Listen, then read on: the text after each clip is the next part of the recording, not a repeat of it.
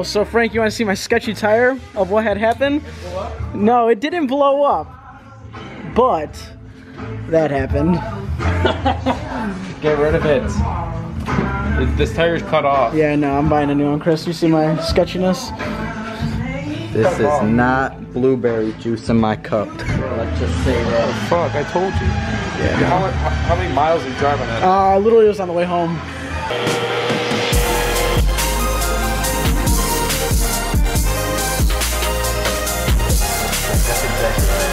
Oh, that's even, yeah,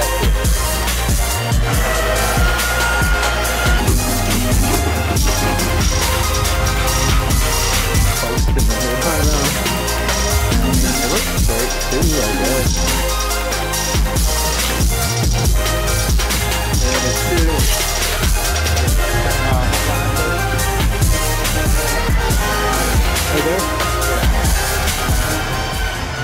Today, or I should say tonight, we're gonna be going to this crazy meet where there's a bunch of crazy drift cars before final bout. As you can see, we're getting Frank's car all buffed up right before we go. And also, less than 24 hours, and Emilio is back with his tire with a huge ass bubble in it. Look at how bad that is.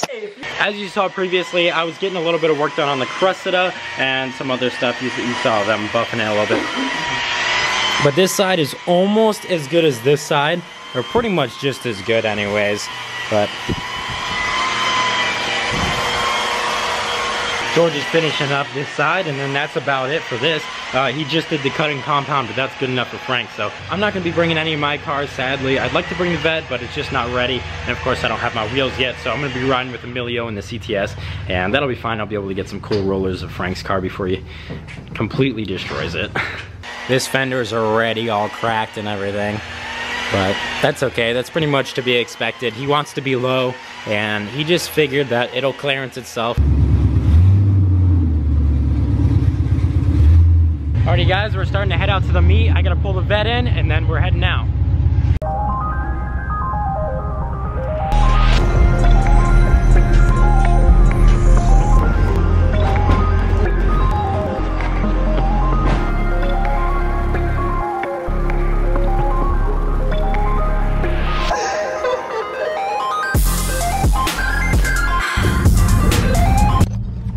So we just got to the meet spot and uh, Frank's not gonna make it.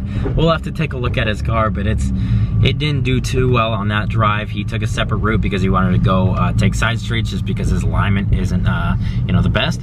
We'll have to take a look at his car once we get back home. Um, I don't know if it'll be there by the time we get back home. I don't know if he's trailering it or what's going on. But this meet seems pretty decent. This is a lot like the meets we had in California. Most of the meets I come to out here are pretty shit.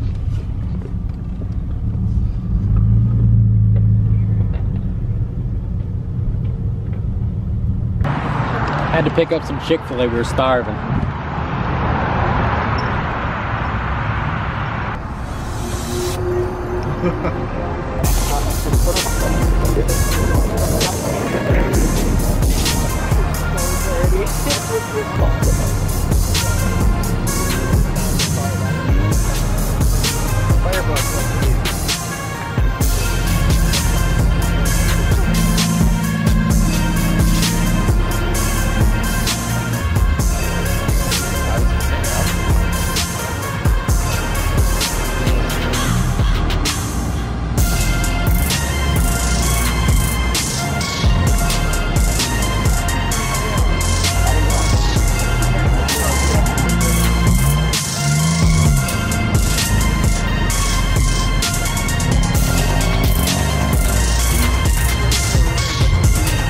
We're heading out from this meet. It wasn't too exciting, especially since the whole reason we all came was pretty much just to see all the reactions to Frank's car. But uh, anyways, we should see it back at the house by the time we get back. Yeah, something like that. We'll see most of it. A little bit of jump in time, but as you know, Frank didn't end up making it to the meet last night. Last thing for today, I'm just gonna show you what happened. And uh, you can see the bumper isn't on right now. Windshield's uh, a little cracked, and uh, this fender didn't fare too well. Nothing really too major, but I guess it was rubbing super bad on the highway, and so he took a side road and then ended up uh, hitting something in the bumper. And then on that side road, I guess there was some loose gravel or something that ended up just busting the shit out of his bumper.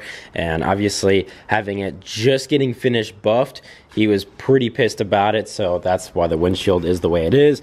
But honestly it doesn't really matter it was already cracked as is so anyways guys that's gonna be it for this video hope you enjoyed and peace out